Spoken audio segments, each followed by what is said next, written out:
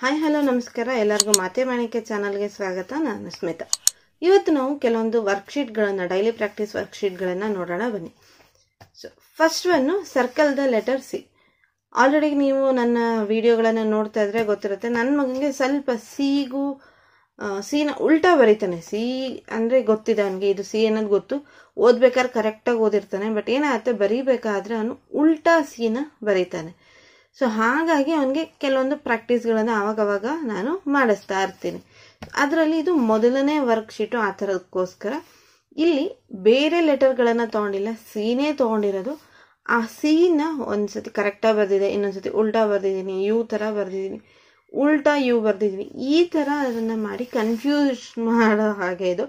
So ಮಾಡಿದ್ದೀನಿ. ಇಲ್ಲಿ ಮಗು ಏನು ಮಾಡಬೇಕು? ಕರೆಕ್ಟಾಗಿರೋ ಸಿ ಎಲ್ಲಿದೆ ಅಂತ ನೋಡಿಕೊಂಡು ಅದಕ್ಕೆ ಮಾತ್ರ ಸರ್ಕಲ್ ಮಾಡ್ತಾ ಹೋಗಬೇಕು. ಬೇರೆ ಲೆಟರ್ಗೆ ಅವನು ಮಾಡಬಾರ್ದು. ಸೊ ಅವಾಗ ಇಲ್ಲಿ ನೋಡ್ತಾ ಇರ್ಬೇಕಾದ್ರೆ ಗೊತ್ತಾಗುತ್ತೆ ಅವ್ರಿಗೆ ಯಾವುದು ಕರೆಕ್ಟಾಗಿರೋ ಸಿ ಅನ್ನೋದು ನೋಡ್ತಾ ಇದ್ದ ಹಾಗೇನೆ ಹೋ, ಇದು ಸರಿ, ಇದು ಕರೆಕ್ಟಾಗಿದೆ ಸ್ವಲ್ಪ ಮಗುಗೆ ಕರೆಕ್ಟ್ ಆಗಬೇಕು ಅಂದಾಗ ಇದು, ಈ ಥರ ಆಗೋದು it's a quite common mirror ಇಮೇಜಸ್ನ ಮಕ್ಕಳು ಬರದೇ ಬರೀತಾರೆ.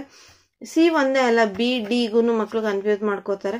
ಸೊ ಅವೆಲ್ಲನೂ ಆಮೇಲೆ ಪಿಗೆ ಕನ್ಫ್ಯೂಸ್ ಮಾಡ್ಕೋತಾರೆ. ಪಿಗೂ ಮತ್ತು ನೈನ್ಗೆ ಹಾಗಾಗಿ ಇವೆಲ್ಲ ಕ್ವೈಟ್ ಕಾಮನ್ ಅದಕ್ಕೋಸ್ಕರ ನಾವು ಈ ಥರ ವರ್ಕ್ಶೀಟ್ಗಳನ್ನು ಮಾಡಿಸ್ತಾ ಇರಬೇಕಾಗತ್ತೆ ಇನ್ನು ನೆಕ್ಸ್ಟ್ ಒನ್ನು ನಾನು ಆಲ್ರೆಡಿ ಒಂದು ವಿಡಿಯೋದಲ್ಲಿ ಪ್ಲೇಸ್ ವ್ಯಾಲ್ಯೂನ ಮಕ್ಕಳಿಗೆ ಹೇಗೆ ಹೇಳ್ಕೊಡ್ಬೇಕು ಅನ್ನೋದನ್ನ ವಿಡಿಯೋ ಮಾಡಿದ್ದೀನಿ. ಅದರದ್ದು ಒಂದು ವರ್ಕ್ಶೀಟ್ ಇದು. ಸೊ ಇಲ್ಲಿ ಟ್ವೆಂಟಿ ಸಿಕ್ಸ್ ಅನ್ನೋ ನಂಬರ್ನ ಕೊಟ್ಟಿದ್ದೀನಿ. ಇದರಲ್ಲಿ ಎಷ್ಟು ಟೆನ್ಸ್ ಇದೆ, ಎಷ್ಟು ಒನ್ಸ್ ಇದೆ ಅನ್ನೋದನ್ನ ಮಗು ಬರಬೇಕು. ಈಗ ಎಕ್ಸಾಂಪಲ್ ಟ್ವೆಂಟಿ ಸಿಕ್ಸ್ಗೆ ಇಲ್ಲಿ ಟೂ ಟೆನ್ಸ್ ಸಿಕ್ಸ್ ಒನ್ಸ್ ಅನ್ನೋದನ್ನ ಮಗು ಇಲ್ಲಿ ಕಂಪ್ಲೀಟ್ ಆಗಿ ಬರೀರಿ next worksheet write the words ವರ್ಡ್ಗಳನ್ನು ಬರಿಬೇಕು. ಇಲ್ಲಿ ಇಮೇಜಸ್ನ ಕೊಟ್ಟಿದೆ. ಅದು ಯಾವ ಇಮೇಜ್ ಅನ್ನೋದನ್ನ ನೋಡಿಕೊಂಡು ಮಗು ಇಲ್ಲಿ ಬರಿಬೇಕು. ಎಕ್ಸಾಂಪಲ್ ಈಗ ಸನ್ ಅಂತ ಇದೆ. ಇಲ್ಲಿ ಮಗು ಸ್ ಅಂತ ಬರಿಬೇಕು. ಸ, ಅ ಅಂದ್ರೆ ಇಲ್ಲಿ ಫೋನಿಕಲ್ಲಿ ಮಗುಗೆ ನಾನು ಹೇಳ್ಕೊಟ್ಟಿರೋದ್ರಿಂದ ಈ ಥರ ಇಲ್ಲ, ನೀವು ಸ್ಪೆಲ್ಲಿಂಗ್ನೇ ಕಲಿಸಿದ್ದೀರಿ ಅನ್ನೋದಾದ್ರೆ ಎಸ್ ಯು ಎನ್ ಅಂತ ಬರೆಸ್ಬೋದು. ಸೊ ಇಲ್ಲಿ ಸ್ಪೆಲ್ಲಿಂಗ್ನ ಮಗು ಬರೀಬೇಕಾಗತ್ತೆ.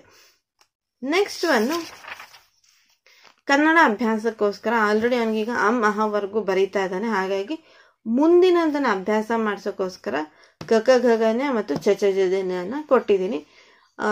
ಖಂಡಿತ ಒಂದು ವಿಡಿಯೋ ಮಾಡೇ ಮಾಡ್ತೀನಿ. ಕನ್ನಡನ ಮಕ್ಳಿಗೆ ಹೇಗೆ ಹೇಳ್ಕೊಡ್ಬೋದು ಅನ್ನೋದನ್ನು ಯಾಕಂದ್ರೆ ಚಿಕ್ಕ ಮಕ್ಕಳಿಗೆ ಕನ್ನಡ ಹೇಳ್ಕೊಡೋದು ಸ್ವಲ್ಪ ಕಷ್ಟ ಆಗುತ್ತೆ. ಇಂಗ್ಲೀಷಲ್ಲಾದರೆ ಒತ್ತು, ದೀರ್ಘ ಅನ್ನೋದು ಏನೂ ಬರೋದಿಲ್ಲ ಬಟ್ ಕನ್ನಡದಲ್ಲಿ ಬರುತ್ತೆ.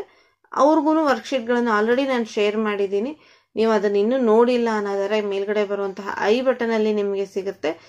ಅಲ್ಲಿ ನೀವು ಚೆಕ್ ಮಾಡಬಹುದು next last one find the pattern ಮಗು ಪ್ಯಾಟ್ರನ್ನ ಫೈನ್ ಮಾಡಬೇಕು. ಸೊ ಈಗ ಇಲ್ಲಿ ಒಂದು ಸ್ಕ್ವೇರ್ ಕೊಟ್ಟಿದ್ದೀನಿ. ಇಲ್ಲಿ ಈ ಕಡೆ ಈ ಕಡೆ ಎರಡು ಡಾಟ್ ಇಟ್ಟು ಆ ಥರ ಇಲ್ಲಿ ಯಾವುದಿದೆ? ಇದ ಇದ ಇದ ನೋಡಬೇಕು ಮಗು. ಅದು ಯಾವುದಿರುತ್ತೆ ಅದಕ್ಕೆ ಟಿಕ್ನ ಹಾಕ್ತಾ ಹೋಗಬೇಕು.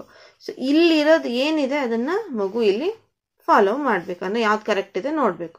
ಸೊ ಈಗ ಇಲ್ಲಿ ನೋಡ್ಬೋದು ವೇವ್ಸ್ ಒನ್ ಟೂ ತ್ರೀ ಕೊಟ್ಟಿದ್ದೀನಿ. ಇಲ್ಲಿ ವೇವು ರೌಂಡೆಡ್ ವೇವ್ಸ್ ಇದೆ. ಬಟ್ ಇಲ್ಲಿ ಕರೆಕ್ಟಾಗಿರೋ ವೇವ್ ಇದೆ. ಇಲ್ಲಿ ಏನಾಗಿದೆ? ಒನ್ ಟೂ ತ್ರೀ ಫೋರ್ ಕೊಟ್ಟಿದ್ದೀನಿ. ಸೇಮ್ ವೇ ಫೋರ್ ಇದೆ. ಇಲ್ಲಿ ತ್ರೀ ಇದೆ. ಸೊ ಯಾವುದು ಮಗು ಮಾಡಬೇಕು ಫೋರ್ ಮಾಡಬೇಕಾ ತ್ರೀಗೆ ಮಾಡಬೇಕಾ ಅನ್ನೋದು ಮಗುಗೆ ಗೊತ್ತಾಗಬೇಕು. ಸೊ ಫೋರ್ ಅಲ್ಲ, ಯಾಕಂದರೆ ಇಲ್ಲಿರೋ ತ್ರೀ ಆಗಿರೋದ್ರಿಂದ ಮಗು ಇಲ್ಲಿ ತ್ರೀನೇ ಮಾಡಬೇಕು ಅಂತ ಗೊತ್ತಾಗಿ ಆಮೇಲೆ ಇಲ್ಲಿಗೆ ಮಾಡುತ್ತೆ. ಸೊ ಇದು ಹಾಗೇನೆ. ಇಲ್ಲಿ ಉಲ್ಟಾ ವೇವ್ಸ್ ಇದೆ. ಈ ವೇವ್ಸ್ ನೋಡಿ ಇದು ನಾರ್ಮಲ್ ವೇವ್ಸ್ ಥರ ಹಾಗೇನೆ ಇಲ್ಲೊಂದು ವೇವ್ ಇದರಲ್ಲಿ ಯಾವುದಕ್ಕೆ ಮಾಡಬೇಕು ಮಗು? ಇದಕ್ಕೆ ಮಾಡಬೇಕು. ಸ್ವಲ್ಪ ಮಕ್ಳಿಗೆ ಕಷ್ಟ ಅನ್ಸುತ್ತೆ. ನಮ್ಗಳಿಗೆ ಇದೆ, ಇದಿಷ್ಟೇ ತಾನೇ, ಇದರಲ್ಲಿ ಏನಿದೆ ಅಂತ ಅನ್ಸುತ್ತೆ. ಬಟ್ ಮಕ್ಕಳಿಗೆ ಮಾಡ್ಬೇಕಾದ್ರೆ ಇದು ಸ್ವಲ್ಪ ಟ್ರಿಕ್ಕಿ ಅಂತ ಅನಿಸುತ್ತೆ. ಸೊ ಈ ವರ್ಕ್ಶೀಟ್ಗಳು ನಿಮಗೆ ಹೆಲ್ಪ್ಫುಲ್ ಆಗ್ತಾ ಇದೆ ಅಂದರೆ ದಯವಿಟ್ಟು ನನಗೆ ಕಮೆಂಟ್ ಮಾಡಿ, ತಿಳಿಸೋದನ್ನು ಮರಿಬೇಡಿ. ಹಾಗೆಯೇ ಯಾರಿಗಿದು ಉಪಯೋಗ ಆಗುತ್ತೋ ಅವ್ರಿಗೆಲ್ಲರಿಗೂ ಶೇರ್ ಮಾಡಿ. ಎಷ್ಟು ಸಾಧ್ಯನೋ ಅಷ್ಟು ನನ್ನ ಚಾನಲ್ಗೆ ಸಬ್ಸ್ಕ್ರೈಬ್ ಮಾಡೋದನ್ನು ಮರಿಬೇಡಿ. Thank you all